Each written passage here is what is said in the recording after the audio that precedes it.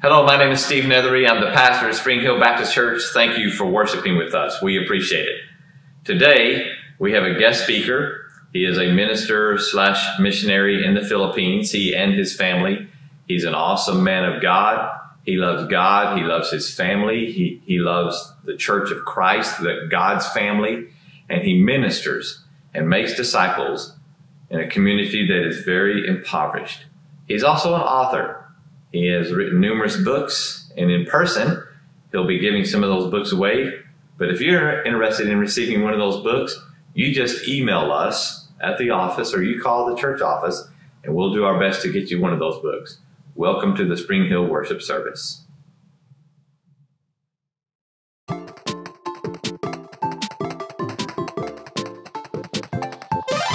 Followers of Jesus have the Spirit living inside them.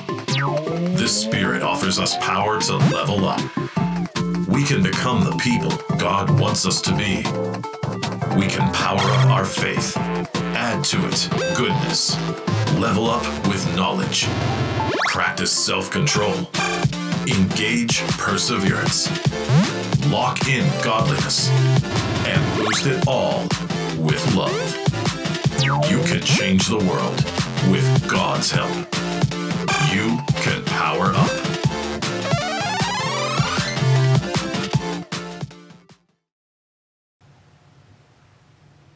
Thank you for joining us today. We are so glad you are here. Will you worship your Lord with us?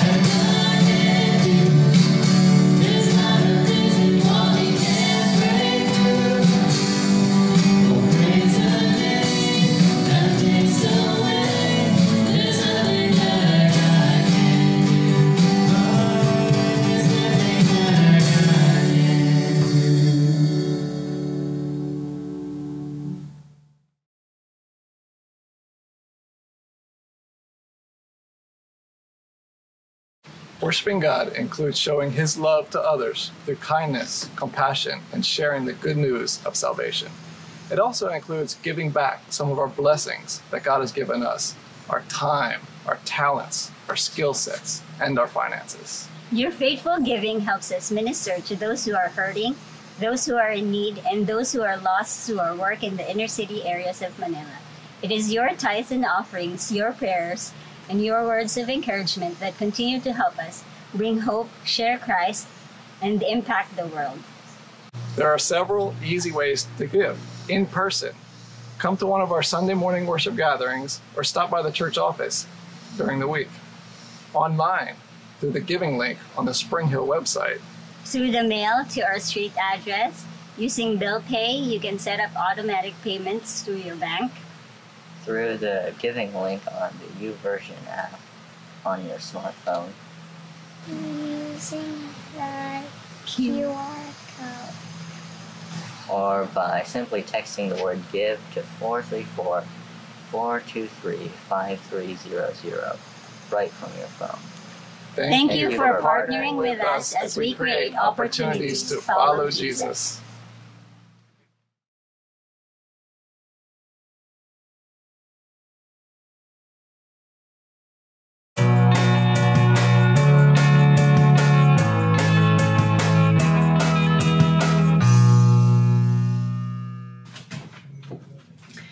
Know, got a hankering for a cup of tea.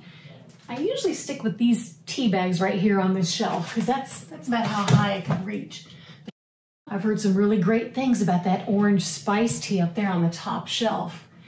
And honey, I've heard that honey is really good in tea too. So I.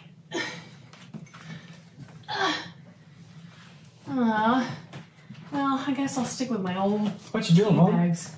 Know, I'm just gonna make a cup of tea. Oh, you going for that orange tea up there? Yeah. It looks pretty high. Can I help you with that? Yeah, thank you. All right, let's see. Ah, here's your tea, That was easy. and here's your honey. Wow, thank you. You're welcome. Knuckle you're awesome. I love working together as a team. Enjoy your tea, Mom. Thanks.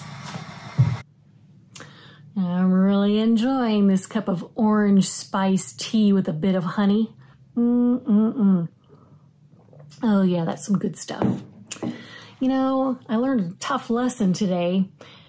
I think I have the tendency to do things that I just think I can do by myself. I don't want to bother other people. I don't want to have to depend on other people. And that's not always a good thing. We might think we can do it all. We might think that we have the power to do everything on our own.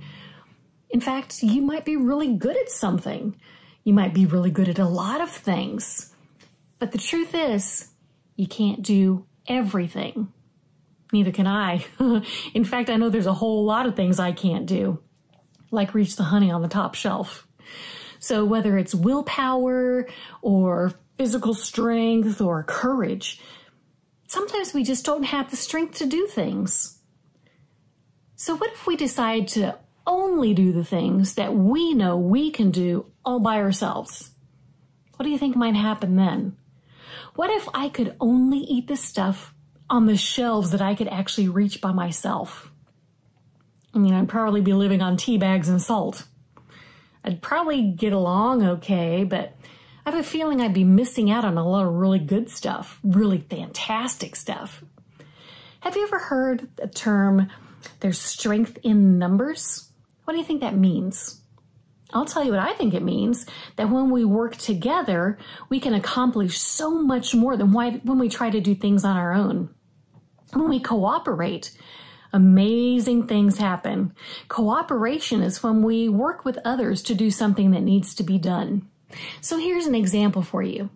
Do you think you could lift a car by yourself? Do you think you could lift a car in an emergency if 15 people are working together and cooperating?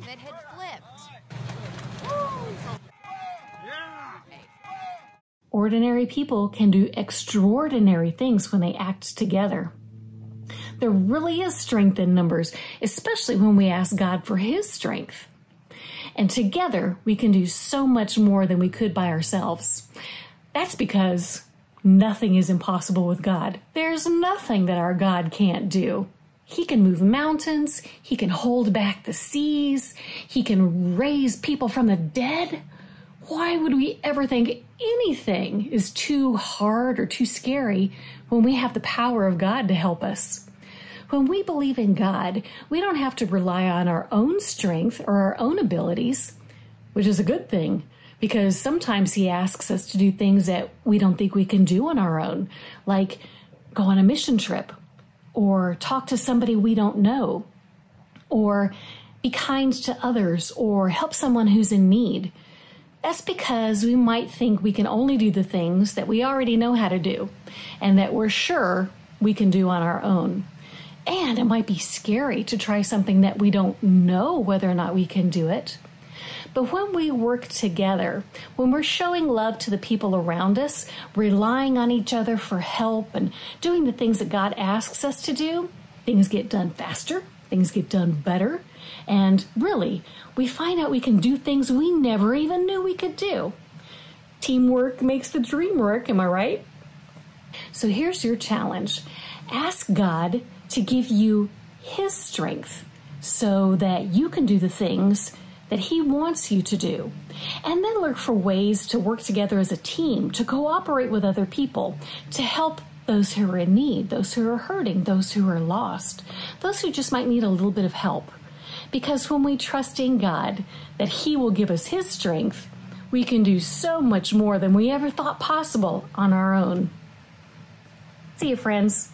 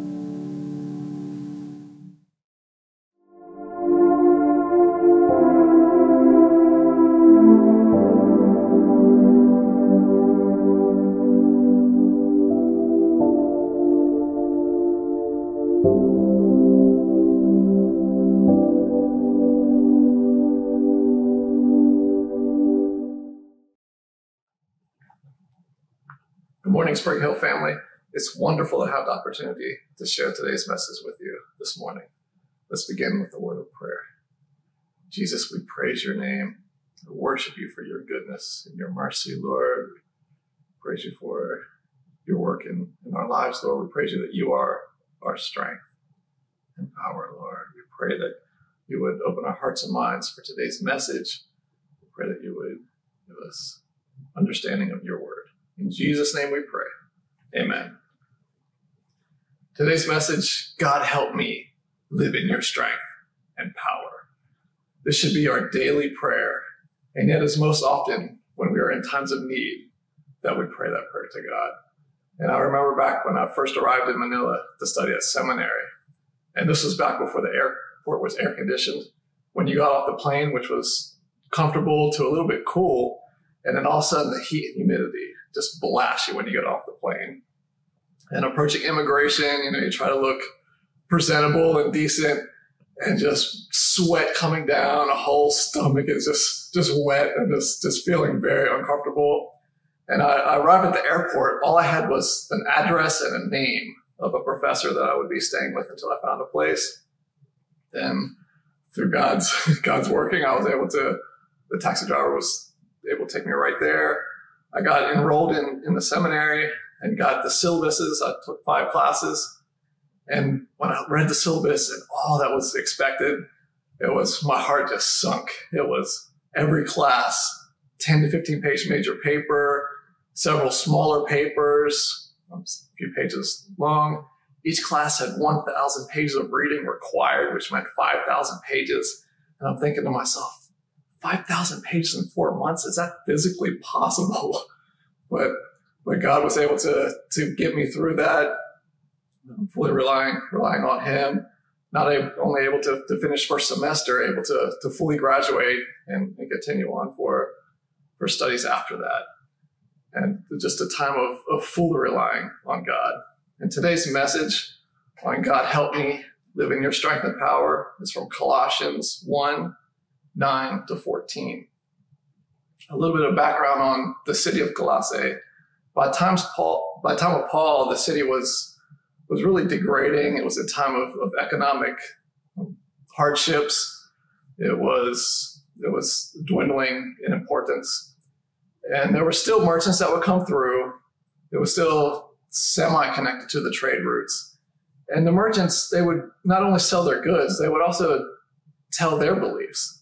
So the, this brand new Christian church that was started by by um, the group of Christians from Ephesus that were there. So Paul actually never went to Colossae, but they were they were taking what they were told about about Jesus, and then they were hearing these these merchants tell tell their their faith and their their beliefs, and they were mixing them together. So it it became what's known today as the Colossian heresy, which we don't actually know the specifics of that, but it's what Paul's reacting to. So as church leaders, Paul was, was hearing this strange teachings coming out of the church in Colossians or Colossae. So he wanted to, to reply to that. And that's what the, the book is about. So if you just uh, some examples of from, from Colossians on um, Paul teaching who Jesus is from verses 1 114, in whom, speak, speaking of Jesus, we have redemption, the forgiveness of sins. Going down to, to verse 1, verse 20 is, and through him to reconcile to himself all things, whether things on earth or things in heaven, by making peace through his blood shed on the cross. And then verse 22, but now he has reconciled you by Christ's physical body through death to present you holy in his sight without blemish and accusation. And then in 214, having canceled the written code with its regulations that was against us and that stood opposed to us, he took it away, nailing it to the cross. And then Paul also talks about how we are to live in light of who Jesus is. And this is 2 verses 20. Since you died with Christ to the basic principles of this world, why, as though you still belong to it, do you submit to its rules? And then dropping down to 3, verse 1. Since then you have been raised with Christ, set your hearts on the things above, where Christ is seated at the right hand of God. And this leads us to our passage, Colossians 1, verses 9 to 14. For this reason, since the day we have heard about you, we have not stopped praying for you and asking God to fill you with the knowledge of his will through all spiritual wisdom and understanding. And we pray this in order that you may live a life worthy of the Lord and may please him in every way, bearing fruit in every good work, growing in the knowledge of God, being strengthened with all power according to his glorious might, so that you may have great endurance and patience and joyfully giving thanks to the Father who has qualified you to share in the inheritance of the saints in the kingdom of light. For he has rescued us from the dominion of darkness and brought us into the kingdom of his Son, whom he loves, in whom we have redemption, the forgiveness of sins. Paul and Timothy, this is their prayer for the, the church in, in Colossians. The prayer for them to live a life worthy of the Lord. And then the, the rest of the prayer is it speaks of how they were to live worthy of the Lord. And that's what we'll look at this morning from verse 10. They were to live a life worthy of the Lord by bearing fruit in every good work. Bearing fruit, it includes telling others about Jesus, telling them about, about his love and who he is, and helping them grow in faith. During the pandemic, we opened up our house every morning for Bible study, prayer, and games times for just neighbors, people in the, the community, people in our church. And every morning we had between two to maybe 10, 10 people come and stay between 15 minutes to up till lunchtime. And throughout that time, this was several months of, of people up coming over. Um, people came to, to faith and also reaching out to, to their neighbors. So we, we saw our, our church had to close down by the government, but we still saw, saw it grow and we saw God work. We, we, we weren't allowed to gather in the church, but we were still allowed to, to meet in our homes. And bearing fruit for every good work, it's also living in integrity, walking, walking the talk. It's in our, I'm doing a, a missions small group here at Spring Hill. And the first lesson we looked at what Old Testament missions was, which was come and see. The, the Israelites were to be a light to the nations, where the nations would come to Jerusalem, come to the temple, and learn about God and, and worship God through seeing the, the, the lifestyle, the lives of, of the Israelites and how they lived. And Jesus expanded that to, to go and tell, go and tell the good news. And with still the importance of, of living righteously, where we can't separate how we live from, from our faith. And Paul made a, a very bold statement in 1 Corinthians 4 16. I urge you to imitate me. So this is the complete opposite of Jesus' criticism of the Pharisees. From Matthew 23, verses 2 and 3. And this is Jesus speaking. The teachers of the law and the Pharisees sit at Moses' seat. So you must obey them and do everything they tell you to do. But do not, but do not do what they do, for they do not practice what they preach. So Jesus was, was criticizing the Pharisees for, for essentially being hypocrites. And Paul, a former Pharisee who had received Jesus, is saying, look at me, look at my life as an example of someone who follows, who follows Jesus. And this is a huge challenge for us where, where we live. It's, it's a, a challenge and also one of the big advantages where we live. It's very densely populated, an informal settlement in Manila. So I look out, I look out my house where we're staying here in Central Virginia. And in the wintertime, I can count about six houses, maybe seven. In our, our home in Manila, when I look out, I could literally see several hundred. You can't even count how many, many homes that we could look out and see from, from our third floor as we look look down over over the houses. It's really everybody's right next to each other. And so people see our lives and they know we're connected with the church. And we've had people approach us. I've been watching you for one year and decide that you guys are good people. And we've had many comments of people coming to church because they see they see the lives of, of church members that, that have come to faith. There's a basketball court near near our place, and I was hanging out there one one afternoon talking with one of the men, and he was telling me, you know, several years ago I was in this computer shop, and this guy walked in with a gun, and I was ducking behind, and I kind of got a, a look at who he was, and he's leading one of the Bible studies at your church. And uh, so I approached the guy, and he was like, "Yeah, Pastor, I'm sorry. Before I, I came Jesus, that's that, that wasn't my life." And I, I knew he had a, a, rough background, but he never he had never told that story before. And I've heard stories of um, one of our, our, church members who's um, very active now, a, a strong leader. His teenage years were passed out drunk, and the the parents know that, and they used to use him as a bad example. Don't don't be like him and passed out on the, the basketball court where he could not fall asleep without alcohol. And I, I met with him regularly prayed with him, studied scripture with him, got freedom from from that addiction, and he's been several years sober now. And, and, people now point to him, wow, I can't believe how different he is. His uncle is like, what are you guys doing in your church? How is how is my nephew so so different of a person than he was before before he got connected to your church? And one of our, our college students, she came to faith uh, when she was in high school, and her her sharing was before she she came to Jesus. She was the terror in school. She was the bully. She was the, she talked back to her teachers. Her parents were always getting called to come to the school to, to talk to the, the guidance counselor and just massive discipline issues. She come to faith. Now she's, she's actually helping to lead our, our youth group. And she took, during the pandemic, she stepped up. We're not allowed to, to gather in a church.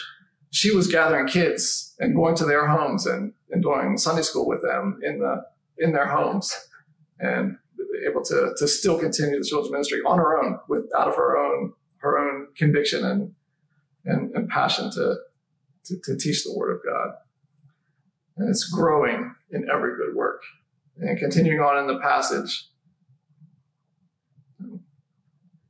bearing fruit in every good work, growing in the knowledge of God the second aspect of what it is to live a life worthy of the calling of God is growing in the knowledge of God. And for the Colossians, this was the knowledge of, of who God is in order to, to confront the, the false teachings that were coming in through this Colossian heresy, the, the false teachings that they were hearing. And growing in growing in faith or growing in the knowledge of God is really being in the Word of God studying the Word of God, where, and I, I know I've said this the last time I, I preached here also, but it's coming to church one hour, even small group, that's only two hours a week. That's not enough to really grow in our faith. We have to be in the Word of God, studying the Word of God on our own, and, and with just the, the desire of wanting to become lifelong learners. The, the actual word disciple, nowadays we use it as Christian or follower of Jesus. But how, how its original use is pupil or learner. So in Jesus' great commission, go and make disciples of all nations. It's go and make learners of Jesus in all nations. This idea of lifelong learner, where when we accept Jesus in our hearts, we only have so much understanding of, of who, who he is. He died for our sins and was was raised again on the cross. So we have this basic knowledge of, of who he is. And but it's it's really through this lifelong of, of studying scripture that that we can really grow grow in our walk walk with God. And I'm so encouraged when I run into or when I see seniors. I teach in a seminary in Manila. It's one of my roles there. And when seniors or older people enroll, it, it's so encouraging. I remember back one of my students, he graduated now, he retired, and him and his wife in their retirement, they would they would open their their home and just kind of sit out front. And there were a lot of street kids that were hanging out. So then they started a children's ministry with them, inviting them into their home, have provide food, let the kids take a bath. That was a a big need for the kid and just doing like Bible lessons with them. And then he realized that his, his understanding was very limited. So he, he enrolled in Bible school as a almost 70 year old senior wanting to grow in the knowledge of God, wanting to be better equipped to, to do this ministry that, that God just laid, laid on his heart, heart to do. And that's, that's very encouraging when, when I see that. And growing in, in the knowledge of God, it's not simply the head knowledge of, of reading, reading scripture and, and just knowledge in our head. It's, it's our actions. It's, we are transformed by scripture. It transforms us. And through, through being transformed by scripture, it's, we live out the word of God. When the pandemic first hit in, in Manila, the, the lockdowns were drastically stricter than they were here in the US. Everything shut down. Close to 90% of the people in my community were instantly out of work. And if you had, if you tested positive, they would put yellow caution police tape on your door. So no one's allowed in and out. Streets, they would block off the street. So only residents were allowed in and out. And so our, our church responded by, we were doing weekly food distribution and they shut down all public transportation. So it meant walking to the grocery store, which a mile or so away. So me and two guys from church, we would take essentially just carry on suitcases and walk to the grocery store. And as we were going there on one of our trips, they were noticing some of the homeless families.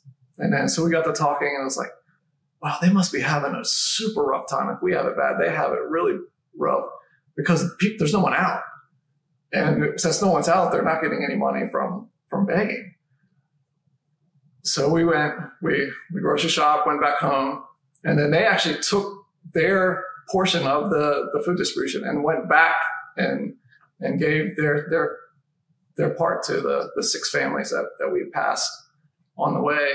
And as they were talking with them, they were like, they found out, yeah, the government was, was not providing for them at all. And they were very thankful to get to get extra meals.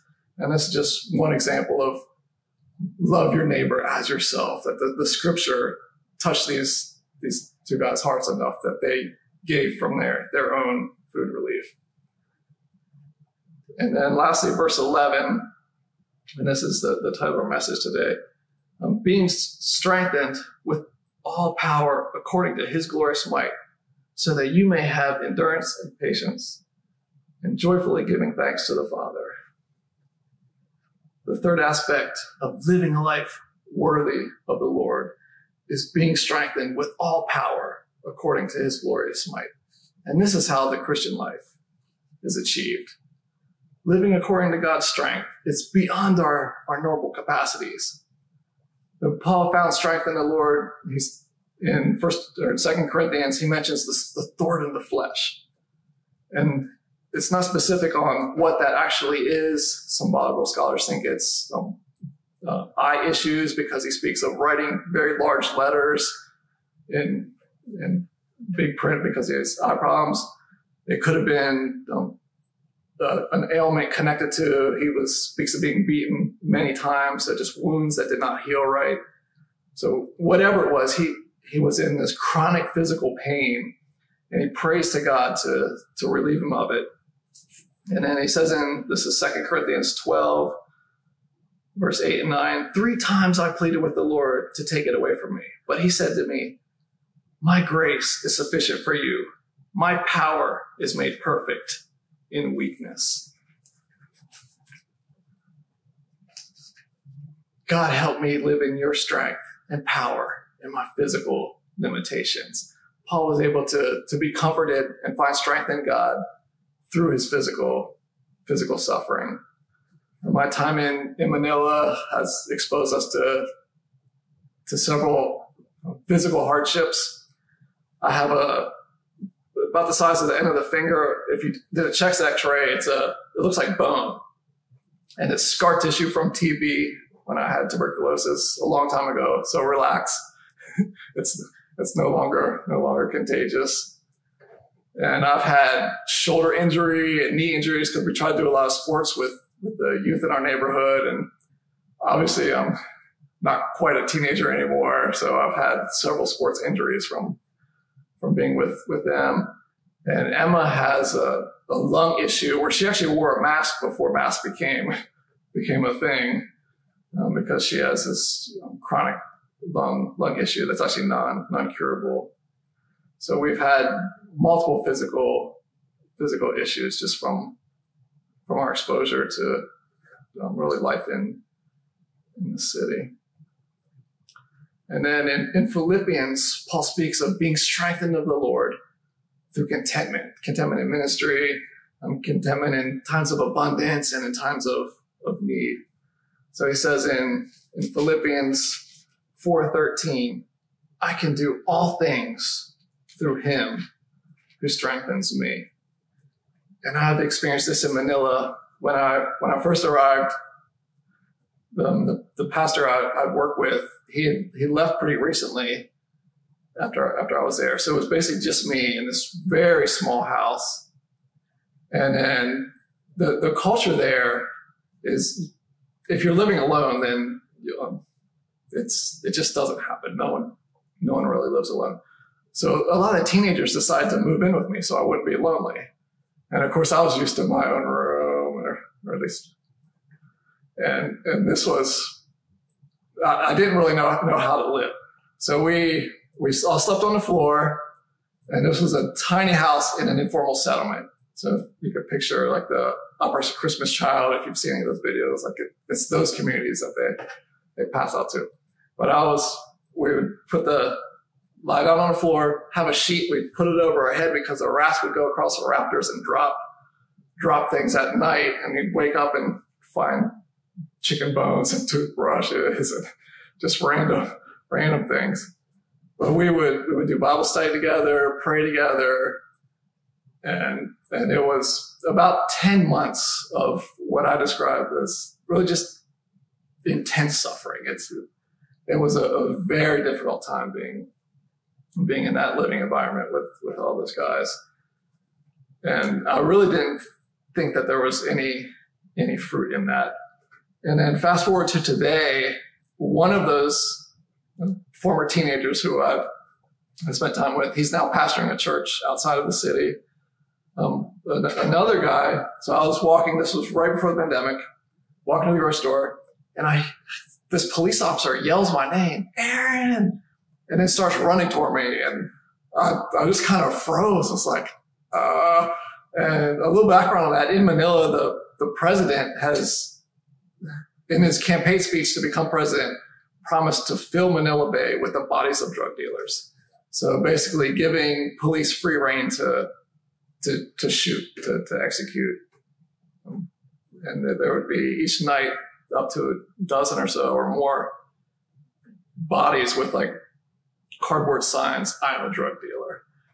And so I just kind of froze as this police officer was running toward me. And then as he got closer, I, I recognized him. And he was one of the, the teams from that study. And he ran up and gave me, gave me a hug and we chatted a little bit. And he was telling me about his family. His, his wife, children are all walking with Jesus and they're, they're all very active in the church. And that was just so exciting to see how, how God had, had used that time of me and my complete weakness to, to really work work his will in, in the lives of these, these youth. And when I've told that story before, I had someone approach me, wow, I could never do that. And, and then I reply, well, it's, it was not me. It's, it's the strength of, of God. It's God working through me. And, and the good news of that is all of us can do that. It's, it's nothing special about me. God's working his power and strength through each of us or we, we can do that.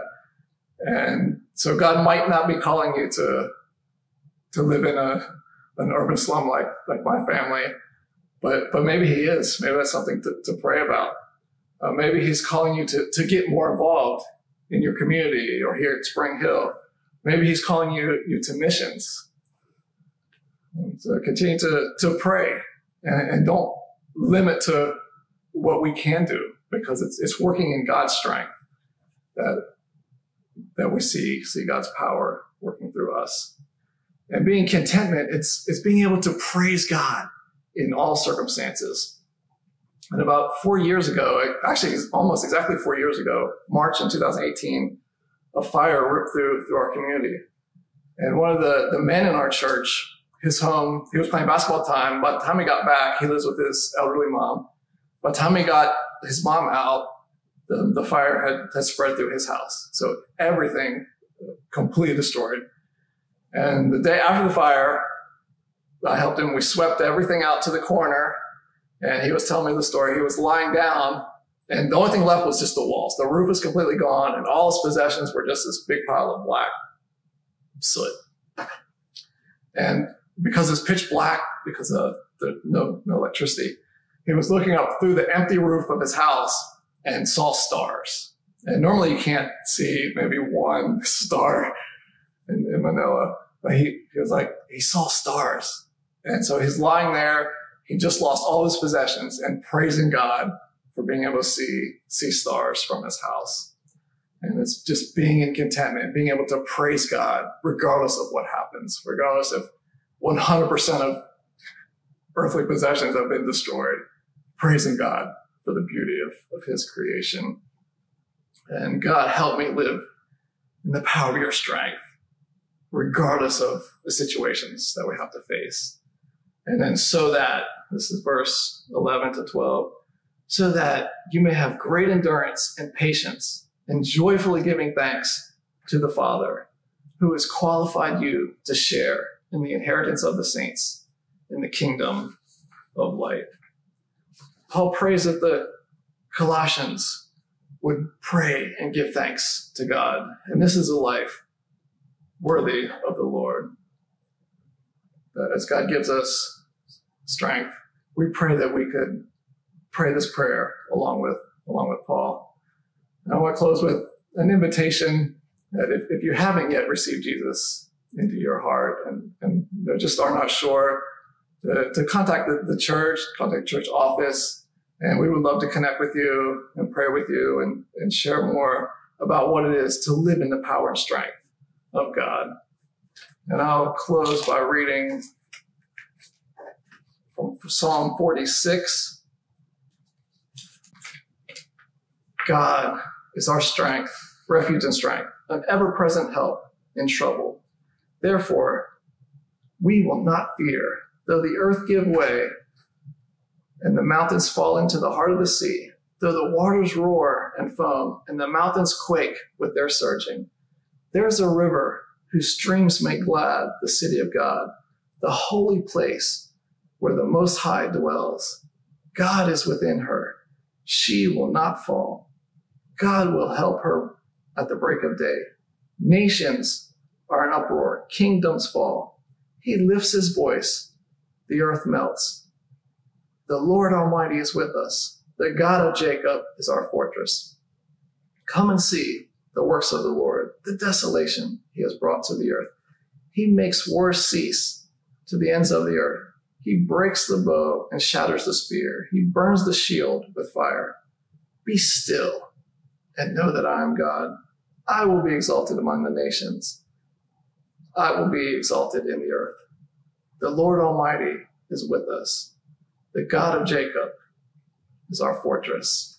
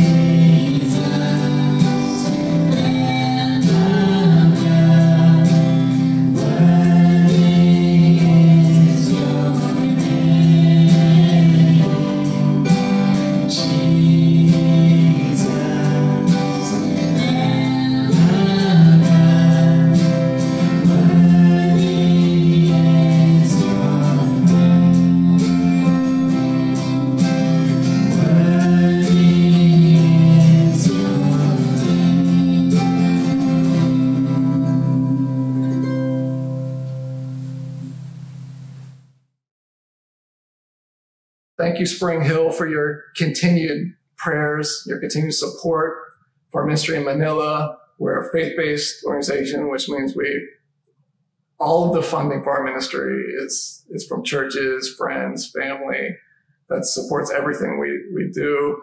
Um, the the gentleman that I told the story about that was looking up praising the stars, the the money from Spring Hill was able to fully rebuild his house, and so we just praise God for your continued support for our ministries. Let me close in prayer. Jesus, we thank you for your word. We thank you for just the the prayer of Paul for the, the church in Colossians, Lord. We pray that as we face our challenges, Lord, as we face our, our physical limitations, as we face just different hardships in life and, and also good times, Lord, in times of abundance, times of hardships, we pray that you would be our strength and power. In Jesus' name, amen.